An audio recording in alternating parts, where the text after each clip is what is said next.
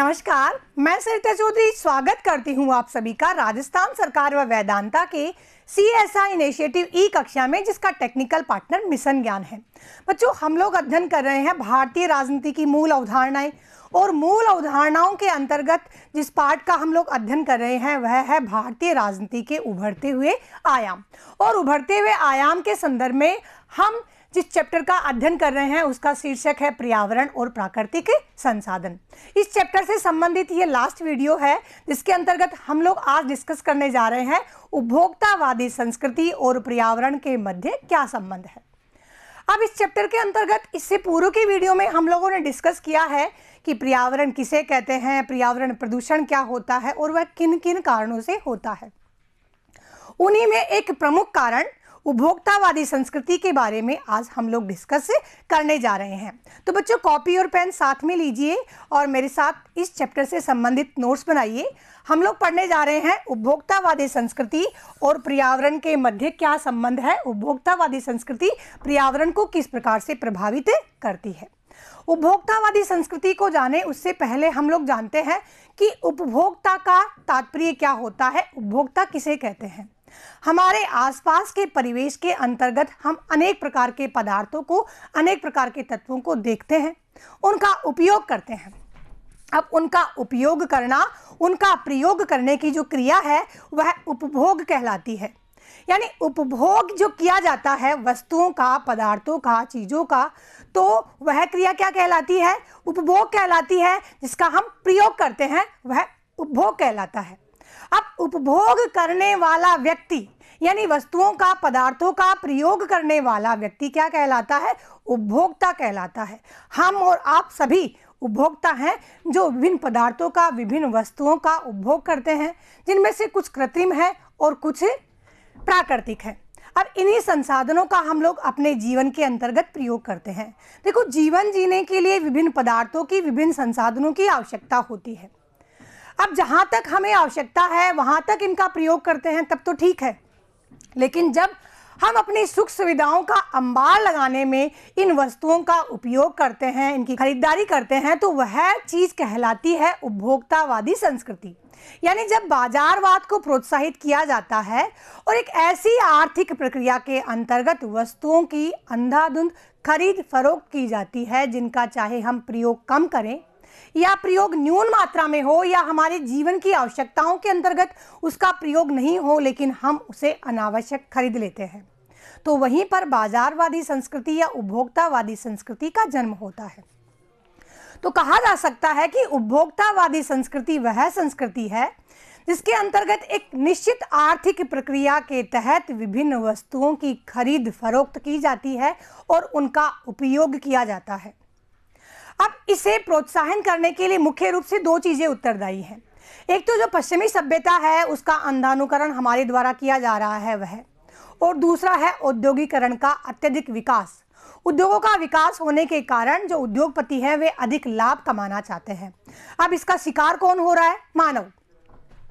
उसे नुकसान इस प्रकार से हो रहा है कि वह पश्चिमी संस्कृति का अंधानुकरण करने के फेर में वास्तव में भूल जाता है कि मुझे कितनी सीमित चीज़ों की आवश्यकता है, कितनी सीमित संसाधनों से मेरा काम चल सकता है, वह ऐसे भूल जाता है।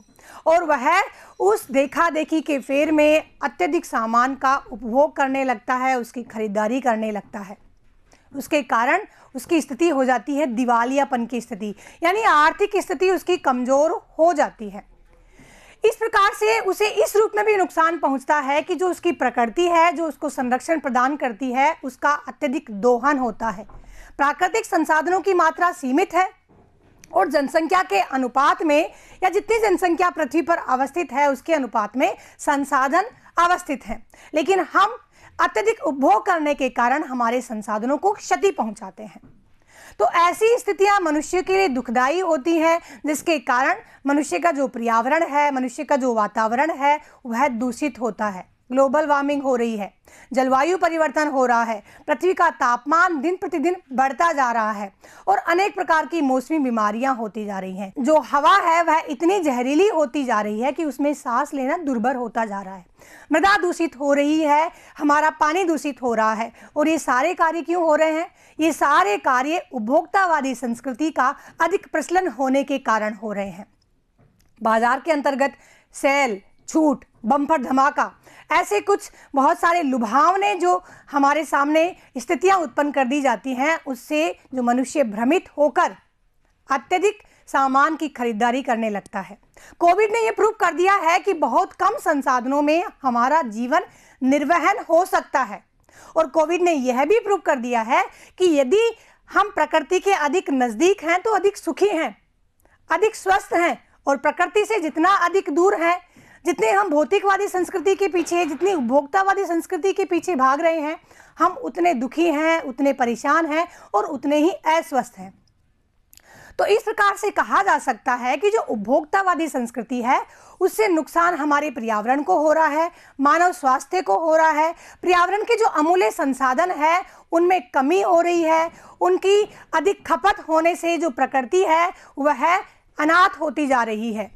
और ऐसी स्थिति में जब प्रकृति अनाथ हो जाएगी तो हम भी अनाथ हो जाएँगे, क्योंकि प्रकृति क्या है? हमारी माँ है, जो हमारा पालन पोषण करने के लिए अमूल्य संसाधन हम सभी को उपलब्ध करवाती है। पहले के ज़माने में देखिए, जब दातुन किया जाता था, ब्रश किया जाता था तो टहनी, तोड़ी नीम की और ब्रश कर लिया गया। सीमित संसाधन, ब्रश करना था और उसी को, उसी के दो टुकड़े करें और फिर उससे टंग क्लीन कर ली गई, जीप साफ़ कर ली गई। लेकिन आज दांत साफ़ करने के लिए इतने अंबार लगे हैं उत्पादों के कि जिन्हें हम देखकर आश्चर्यचकित रह जाते हैं। दांत साफ़ करने के लिए ये पेस्ट लीजिए, मसूड़े साफ़ करने के लिए ये पाउडर लीजिए, उसके बाद कुल्ला करने के लिए ये वाला जेल लीजिए। तो ये जो संसाधनों की अधिकता है, वह उपभोक्तावादी संस्कृति की ओर हमें अग्रसित कर रही है। और जो उपभोक्तावादी संस्कृति है, वह हमें अपने पर्यावरण से दूर ले जा रही है। अपने पर्यावरण का दुश्मन बना रही है। हमें हमारा शत्रु बना रही है। हमें हमारा स्वास्थ्य का शत्रु बना रही है, दुश्मन बना रही है। तो ये सारी स्थितियाँ हमारे लिए बहुत ही विकट है, दुखदाई है परेशानी जन्य है। तो आइए हम लोग इस वीडियो के अंतर्गत डिस्कस करते हैं कि उपभोक्तावादी संस्कृति किसे कहते हैं और यह हमारे पर्यावरण को किस प्रकार से प्रभावित करती है। जैसा हम लोगों ने डिस्कस किया कि जो उपभोक्तावाद है या जो उपभोक्तावादी संस्कृति है, वह एक ऐसी आर्थिक प्रक्रिया है जिसके अंतर्गत समाज में अवस्थित जितने भी संसाधन हैं उनका उपयोग किया जाए, यानी मनुष्य के द्वारा उनका उपभोग किया जाए। यानी समाज के समस्त संसाधन उपभोग योग्य हैं। इस प्रकार से यह कौन कहता है? उपभोक्तावादी संस्कृति स्पष्ट करती है। उपभोक्तावादी संस्कृति एक आर्थिक प्रक्रिया है। ठीक है? इसके पास में क्या होता है कि उपभोक्तावादी जो संस्कृति है, वह क्यों अधिक प्रभावित कर रही है हम सबको? तो उसके लिए सबसे अधिक जिम्मेदार तो है जो उद्योगीकरण है। औद्योगिक व्यवस्था के कारण जो उद्योगपति हैं, वे अत्यधिक लाभ कमाना चाहते हैं, क्योंकि बड़े बड़े फर्म स्थापित करते हैं बड़ी बड़ी औद्योगिक इकाइयाँ स्थापित करते हैं तो ये लोग चाहते हैं कि अधिक लाभ कमाया जाए। तो बाज़ार में एक ऐसा आडंबर युक्त वातावरण प्रस्तुत किया जाता है, विभिन्न विज्ञापनों के माध्यम से, कि व्यक्ति को यह महसूस होता है कि इनके बिना तो हमारा काम ही नहीं चल सकता। इस कृत्रिम वातावरण के बहलावे में व्यक्ति आ जाता है। और जिसका लाभ किनको मिलता है? उद्योगपति वर्ग को मिलता है, क्योंकि उसका मूल उद्देश्य क्या होता है? अपने वस्तुओं को बेचना और ग्राहकों को ललचाना। और ग्राहकों के मन में ऐसी कृत्रिम इच्छाएँ उत्पन्न करना, जिसके कारण उन्हें यह महसूस हो कि इन वस्तुओं के बिना तो हमारा काम ही नहीं चल सकता। जैसे कि अब बदलेगा गेम।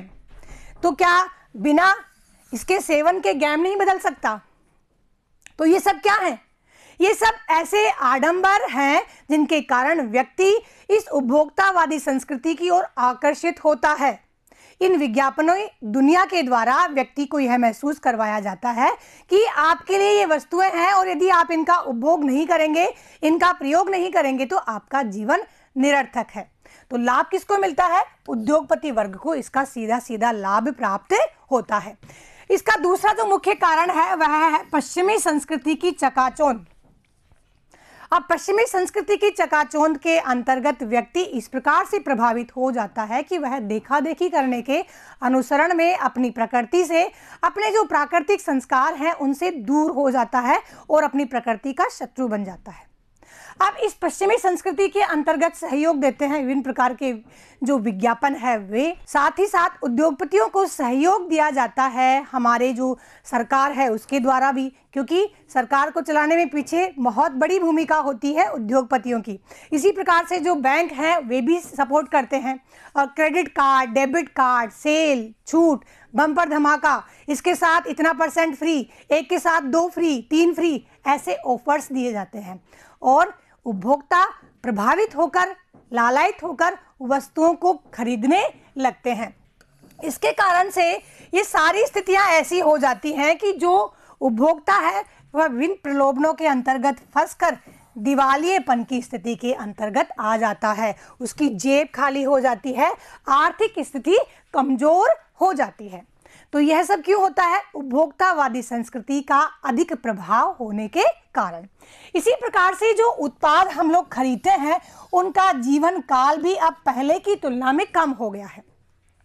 1980 के मुकाबले जो वर्तमान में जो उत्पाद होते हैं, उनका जो जीवन काल है वह तीन गुना कम हो गया है। पहले ऐसे कहा जाता था, पुरानी कहावत हुआ करती थी कि दादा खरीदे और पोता बढ़ते। यानी एक जो वस्तु खरीद ली जाती थी, उसे पीढ़ियों दर पीढ़ी काम में लिया जाता था और मुख्यतः इस प्रकार से वह एक स्थायी वस्तु होती थी। लेकिन आज जो हम सामान खरीदते हैं, जो वस्तुएँ खरीदते हैं, यहाँ तक कि जो हमारे घर मकान भी बनाए जाते हैं, वे भी एक पीढ़ी तक के लिए ही हो गए हैं। इसके कारण अनेक प्रकार की समस्याएँ हो गई हैं। तो जो उत्पादन की जाने वाली जो वस्तुएँ हैं, या उत्पादन की जो वस्तुएँ प्रयोग में हम लोग ले रहे हैं, उनका जीवन काल कम हो गया है। उदाहरण के लिए एक घर है। उस घर में पाँच मेंबर है तो पाँच के पास दस मोबाइल है।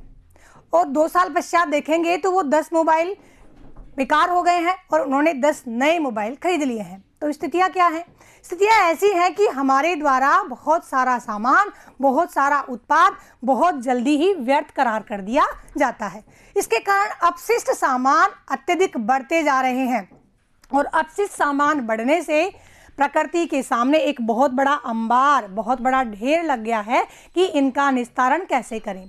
इसी प्रकार से हम लोग डिब्बाबंद वस्तुओं का प्रयोग करते हैं। पैकिंग और डिस्पोजल सामान का प्रयोग करते हैं तो यह भी हमारे सामने ऐसी समस्या उत्पन्न कर देते हैं कि इनका इस अपशिष्ट पदार्थ का निस्तारण कैसे किया जाए। और ये जब निस्तारित नहीं होते हैं तो हमारी मृदा को प्रदूषित करते हैं, हमारे जल को प्रदूषित करते हैं, हमारे वातावरण को प्रदूषित करते हैं। तो इस प्रकार से जो अपशिष्ट सामान है, वह भी पर्यावरण को दूषित करते हैं और अपशिष्ट सामान की वृद्धि होने का कारण क्या है? उपभोक्तावादी संस्कृति। ठीक है?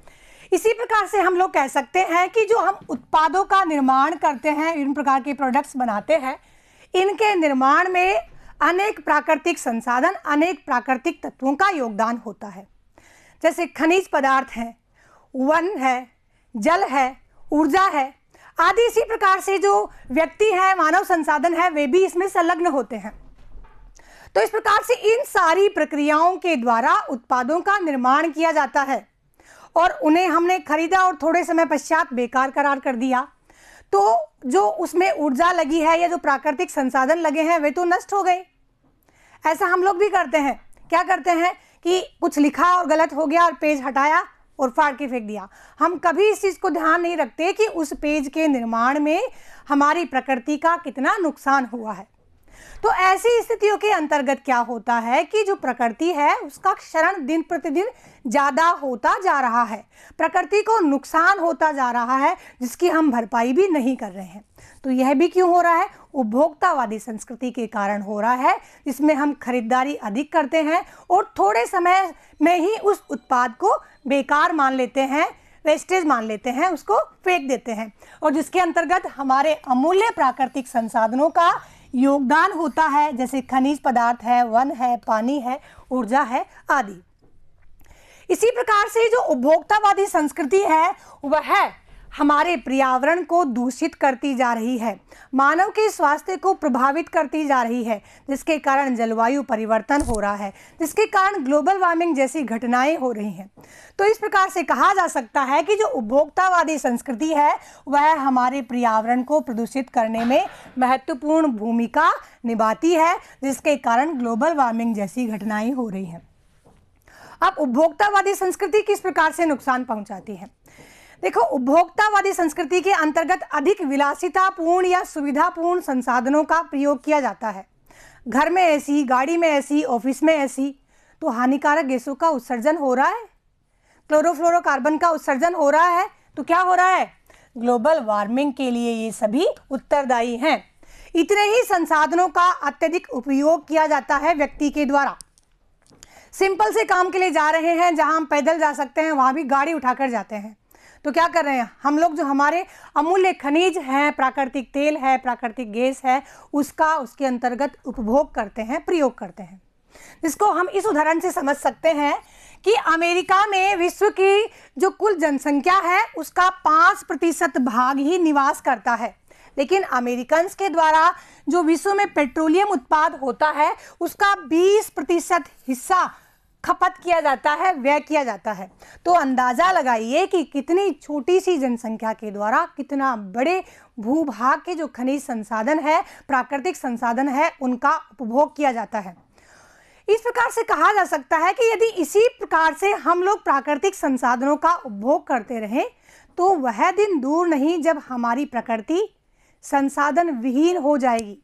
हमारी जो प्रकृति के आंचल में विभिन्न प्रकार के मोती जड़े हुए हैं, वे मोती उससे विच्छेदित हो जाएँगे, दूर हो जाएँगे, जो हमारे लिए है, हमें लाभ पहुँचाने के लिए है। एक सर्वे के अनुसार विशेषज्ञों ने यह शोध प्रस्तुत किया कि यदि इसी दर से प्राकृतिक संसाधनों का हम उपयोग करते रहेंगे तो जो संसाधन है, वे धरती से गायब हो जाएँगे और जिनके निर्माण में लाखों वर्ष लगे हैं, लगभग दस लाख वर्ष के अंतर्गत ये प्राकृतिक संसाधन तैयार हुए हैं। जिसके अंतर्गत कहा गया कि जो भूगर्भ में उपलब्ध तांबा है, वह आने वाले समय में 277 वर्षों के पश्चात समाप्त हो जाएगा। यदि इसी प्रकार से तांबे का दोहन करते गए, तांबे का प्रयोग करते गए, यदि इसी प्रकार से हम लोग कोबाल्ट और प्लेटिनम का खनन करते गए, उपयोग करते गए तो आने वाले 400 सालों के अंतर्गत वह पृथ्वी से गायब हो जाएगा। इसी प्रकार से जो पेट्रोल है, वह मात्र उनचास, यानी 49 ईयर में गायब हो जाएगा, हमें प्राप्त नहीं होगा। आने वाली पीढ़ी जानेगी ही नहीं कि कोई पेट्रोल नाम का पदार्थ भी था। इसी प्रकार से जो पेट्रोलियम गैस है, वह आने वाले 60 वर्षों में समाप्त हो जाएँगी, पृथ्वी से गायब हो जाएगी, और कोयला तो मात्र कुछ सालों के अंतर्गत ही। तो प्राकृतिक संसाधनों का अत्यधिक दोहन करने से हमारी प्रकृति में ये जो संसाधन है, वे नष्ट हो जाएँगे, समाप्त हो जाएँगे, क्योंकि प्रकृति में जो संसाधन है, वे सीमित मात्रा में है। इसको हम लोग ऊर्जा संसाधनों के अंतर्गत पढ़ चुके हैं। इसे संबंधित एक बात है जिसको मैं आप लोगों के साथ डिस्कस करना चाहूँगी। देखो बच्चों, अर्थ ओवर शूट डे होता है। अब जो अर्थ ओवर शूट डे है, वह एक मापक या एक काल्पनिक पैमाना तय किया गया है पृथ्वी के संसाधनों के अनुसार कि पृथ्वी के ऊपर जो उपलब्ध संसाधन है, वे निश्चित जनसंख्या के अनुपात में हमें प्राप्त होते हैं। अब हो क्या रहा है कि जनसंख्या की भी अप्रत्याशित वृद्धि हो रही है? उसी के साथ साथ जनसंख्या है, वह अत्यधिक संसाधनों का प्रयोग कर रही है, उपभोग कर रही है। उसके कारण प्रकृति पर दोहरी मार पड़ रही है, जनसंख्या की वृद्धि की भी और अत्यधिक उपभोग की भी। उस स्थिति में प्रकृति के जो संसाधन है, उनकी खपत अत्यधिक होती जा रही है, ज़्यादा होती जा रही है।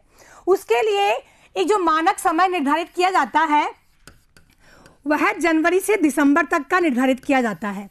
यानी जो संसाधन है, वे जनसंख्या के लिए जनवरी माह से दिसंबर तक के लिए होते हैं और उनका उपभोग हमें किया जाता है, हमारे द्वारा किया जाता है। लेकिन हो क्या रहा है कि जो संसाधन पूरे साल भर के लिए थे, वे आते आते छः सात महीनों में ही समाप्त हो रहे हैं। अभी जो अर्थ और शूट डे 2012 का जो माना गया है, वह अगस्त माह में था। तो सोचिए कि जो बाकी जो महीने बच गए हैं, उनमें हम संसाधनों का उपभोग तो करेंगे ही। लेकिन इन संसाधनों का जिनका हम उपयोग कर रहे हैं, वो पृथ्वी से एक तरह का ऋण ले रहे हैं, कर्ज ले रहे हैं, सूद ले रहे हैं। तो अगर यदि हमारे द्वारा प्रकृति को ये वापस नहीं लौटाया गया तो हम कब तक इस तरह से एक्स्ट्रा काम में लेते रहेंगे? इसी मापक पैमाने को अर्थ ओवरशूट डे कहा जाता है, जिसकी गणना 1986 से वैज्ञानिकों के द्वारा की जा रही है। और लगातार इसका जो माह है, महीना है, दिन है, वे कम होते जा रहे हैं। यानी हम कम समय में ही प्राकृतिक संसाधनों का अधिक प्रयोग कर रहे हैं। तो बड़ी चिंताजनक स्थिति है कि पृथ्वी के संसाधनों का यदि लगातार इसी रूप में हम लोग प्रयोग करते रहे तो पृथ्वी संसाधन विहीन हो जाएगी और हमारे जीवन के लिए हमें जो संसाधन प्राप्त हो रहे हैं, वे आने वाली पीढ़ी को प्राप्त नहीं होंगे। महात्मा गांधी ने कहा भी है कि जिन प्राकृतिक संसाधनों का हम उपभोग कर रहे हैं, वो हमारे पूर्वजों की विरासत नहीं है। अभी तो आने वाली पीढ़ियों की अमानत है जिन्हें हमें सौंपना है। लेकिन सौंपेंगे क्या? हमारे आने वाली पीढ़ी के सामने हम स्थितियाँ यह उत्पन्न करेंगे कि पृथ्वी के वो संसाधन विहीन करके उन्हें देंगे। और इसका खामियाजा ना हमें भी भुगतना पड़ेगा और हमारी आने वाली जनरेशन को भी भुगतना पड़ेगा। अब इतने सारे संसाधन हमारे द्वारा प्रयोग किए जाने के पश्चात भी हम लोग अशांत हैं, बेचैन हैं, खुश नहीं है, दुखी हैं। अब ऐसी स्थिति के अंतर्गत हम लोग तनावग्रस्त होकर भी कहाँ जाते हैं? प्रकृति के पास। प्रकृति की गोद में जाना चाहते हैं, किसी हिल स्टेशन में जाना चाहते हैं या कोई प्राकृतिक स्थल है, वहाँ जाना चाहते हैं और उसके बाद भी हम लोग अपेक्षा करते हैं कि हम लोगों ने तुम्हारा इतना दोहन कर लिया, उसके पश्चात भी हमें तुम अब सुख दो, संतोष दो, शांति दो, जो हमारे साधनों से हमें नहीं मिली। उन ऐसो आराम के जो संसाधन हैं, उनसे हमें प्राप्त नहीं हुई। तो ऐसा कब तक होगा? ऐसा कब तक हमें प्रकृति देती रहेगी? क्योंकि वास्तव में कोविड ने यह प्रूव कर दिया है कि जो हम, जो भी विकट स्थितियाँ होती हैं, जो भी परेशानी स्थितियाँ होती हैं, उसमें निजात हमें हमारी प्रकृति ही देती है। और यदि प्रकृति का हम लोग शरण करेंगे, प्रकृति को नुकसान पहुंचाएँगे, प्रकृति को प्रदूषित करते रहेंगे तो हमारी जो माँ है, उसका अस्तित्व ही नहीं बचेगा और बचा हुआ अस्तित्व होगा, वह भी विकृत हो जाएगा। तो ऐसी स्थिति में हमें सुख व संतोष प्राप्त करने के लिए क्या करना चाहिए? हमारी प्रकृति का संरक्षण करना चाहिए। और इन जो विलासिता वाली वस्तुएँ हैं, भौतिकतावादी और उपभोक्तावादी संस्कृति है, उसे हमें इग्नोर करना चाहिए और उतने ही संसाधनों का उपभोग करना चाहिए, उपयोग करना चाहिए, खरीदारी करनी चाहिए, जितनों की हमें आवश्यकता है। और प्राकृतिक जीवन की ओर हमें आगे बढ़ना चाहिए, क्योंकि जो प्रकृति में सुख है, वह कहीं भी सुख नहीं है। प्राकृतिक जीवन, सात्विक जीवन, संतोषपूर्ण जीवन हमें सुखी बना सकता है, हमें स्वस्थ बना सकता है। अतः हमें प्राकृतिक संरक्षण को व्यक्तिक दायित्व मानते हुए, व्यक्तिगत ज़िम्मेदारी मानते हुए स्वयं जागरूक रहकर अपने परिवार को, अपने समाज को, अपने आस पड़ोस को जागरूक करके, चेतना युक्त करके, सचेत करके यह संदेश प्रसारित करना चाहिए कि आओ, हम सभी मिलकर प्रकृति का संरक्षण करें। यह हमें सदा सर्वदा देती रहती है। इसे जो लिया है, उसके बदले में हम इसे पुनः प्रदान करें। और जो हमारे संविधान के जो अनुच्छेद हैं, जो प्रावधान है, जिन्हें प्राकृतिक संरक्षण के संदर्भ में उल्लेखित किया गया है, उनका पालन करें। अपना दायित्व मानकर, अपना कर्तव्य मानकर। तभी हम लोग अपनी प्रकृति का संरक्षण कर सकते हैं। तो इस तरह से बच्चों, इस चैप्टर के अंतर्गत हम लोगों ने प्राकृतिक स्थितियों के बारे में, पर्यावरण के बारे में, प्राकृतिक संसाधनों के बारे में और उनके विकृत रूपों के बारे में भी डिस्कस किया। तो इस तरह से जाना कि जो मानव जनित गतिविधियाँ हैं, वह ही मूल रूप से पर्यावरण प्रदूषण के लिए ज़िम्मेदारी है। तो यदि मानव सचेत हो जाए, जागरूक हो जाए और सरकारों के साथ मिलकर सक्रिय रूप से कार्य करें और अपनी व्यक्तिगत ज़िम्मेदारी मानते हुए स्वयं सजगता से और चेतना से साथ कार्य करें। तो इस प्रकृति का जो शरण हो रहा है या जो पर्यावरण प्रदूषण हो रहा है, उसके लिए बड़े बड़े सम्मेलनों की या बड़े बड़े जो मंच हैं, उनकी आवश्यकता नहीं।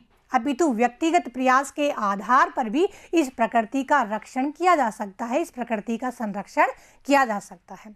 इसी के साथ ये चैप्टर कंप्लीट होता है। अगले वीडियो में हम लोग इस चैप्टर से संबंधित क्वेश्चन आंसर के बारे में डिस्कस करेंगे। तब तक के लिए विदा दीजिए। जय हिंद, जय भारत।